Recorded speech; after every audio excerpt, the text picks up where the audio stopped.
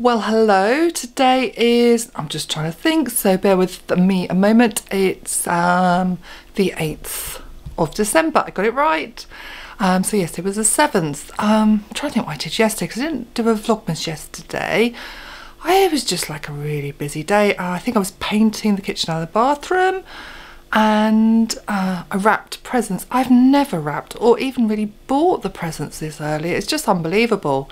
Banking on, say, worst case scenario, not because I like to think of the worst case scenario, but if there is the worst case scenario and I can't do anything after my operation for quite a long time, then I am prepared. That's the plan. So presents under the tree. I was wrapping those last night. So present under the tree from me.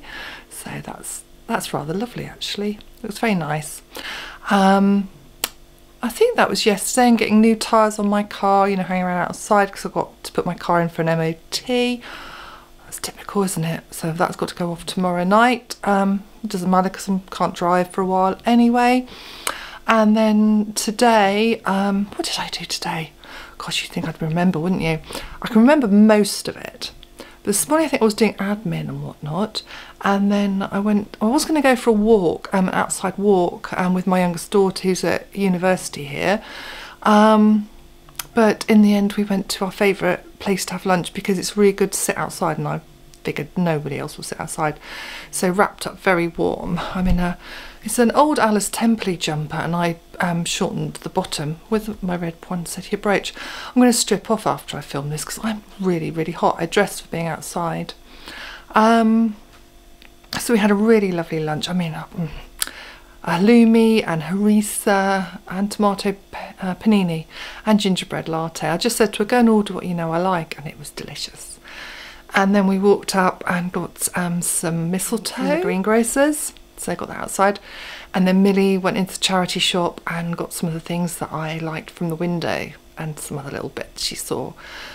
And I also saw um, some colourful snowflakes that I've seen from Petra Boase, and they were for sale in this lovely shop. So she's going to pop back at the weekend um, and get those for me. I've still got to put up our white snowflakes, but I want the colourful ones there. We've got a really busy house full of stuff as it is, so Christmas really gets a bit full on. I must admit, just after Christmas, I get a bit claustrophobic with it all, but I've just been putting up all the extra. Sorry, it wobbles. My arms ache. I have to keep swapping arms.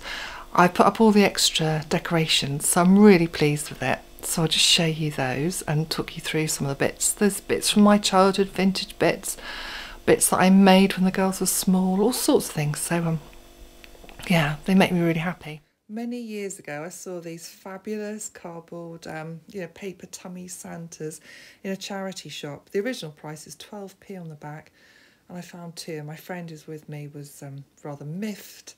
I have treasured them every since, ever, every since, ever since, and they come out each year and they make me so, so happy. I also saw this on one of my treasure hunts, this beautiful Huntley and Palmer's tin, which my mum and my daughters went to buy for me. Now it holds all our Christmas sweeties every year. Saw this uh, lovely tureen, there were two, but I only needed one, and the beautiful serving plate, which I thought would look beautiful on the Christmas table. And here is the mistletoe that I came home with, and the Santa um, wrapping paper that I was really pleased to put up few little houses on the fridge. There are the paper Santas, and then I've had real fun making the shelf this year, putting all the Santas and the trees out. There's lots of vintage bits and bobs. Um, those little plastic things were in the girls' school um, Christmas crackers every primary school lunch in the village we lived in. Um, my love remembers his mum by a robin. I remember my dad by a blackbird, so that's uh, why the robin is there. Rosie bought me the Santa Globe. Um, oh, and the Ring the Bell for Jesus, which we have to ring every year. Sorry if you're um, a Christian and we seem like we're naughty. And then the mince pies, the felted mince pies I made. I think it was at So Dainty on Instagram. She'd um, shown how to make them, and I just knew I had to and then the dangly um, felt, there's all sorts of shapes. I remember sitting in our cottage in the country on the rug by the wood burner while the girls were small sewing this. And that comes out every year, memory of their childhood. And there's the bag with small bits. that have got to go out. So yeah, bells jingle on this. The snowman and the Christmas tree were both made by a toy maker who just used to sell at my vintage markets. They're all my beautiful china cupboard, which is full of treasured things.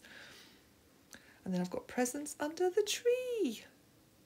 And then after that, I had to go to the hospital for, I thought it was just for blood tests, but turns out it was like a whole pre op assessment, which really, really put my mind at rest more.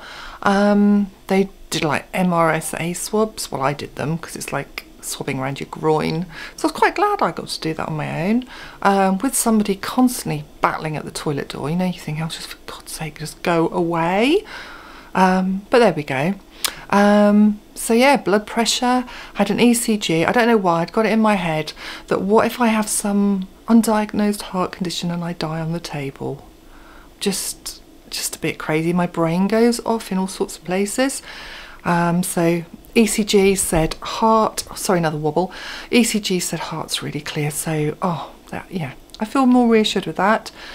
I explained to the lady how I really like to be in control. Um, and I was talking a lot and then I said to her, you know, I've realised I've got ADHD, you know, I, I hit all the, the signs, you know, my daughter's got it um, and now I'm realising how similar we are. And she said, yeah, wanting to be in control like that is very common. I kind of recognised it with you. I'll go and get the nurse and she can talk you through what's happening on the day. I mean, that was just marvellous. That really, really helped, knowing exactly what's going to be happening. Um, you know, down to the minutiae of where I'll be sitting, when will I be getting undressed, when are they likely to operate, as much as they know.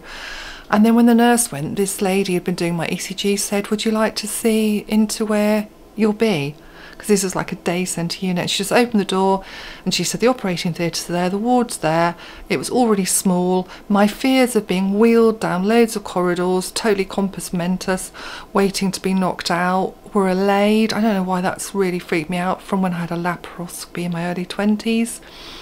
Um, yes, I just, I, I do feel like a bit of a weight's been lifted. I feel a lot less freaked out.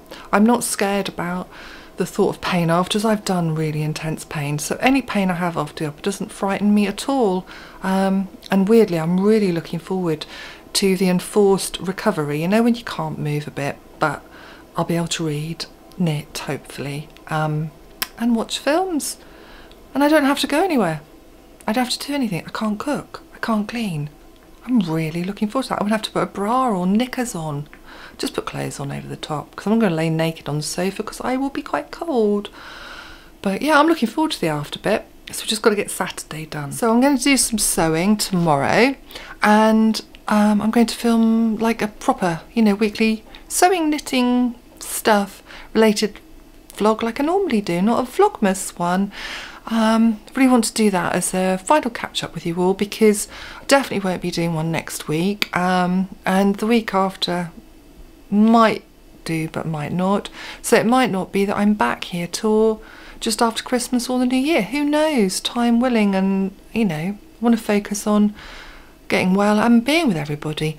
But I am going to do these dip in vlogmas. They're just so much easier than setting up the tripod and all of that. So that's me. So yeah, my caught upness. Um, so I shall see you back here tomorrow. Um, yeah, I really think that's everything. So, bye bye.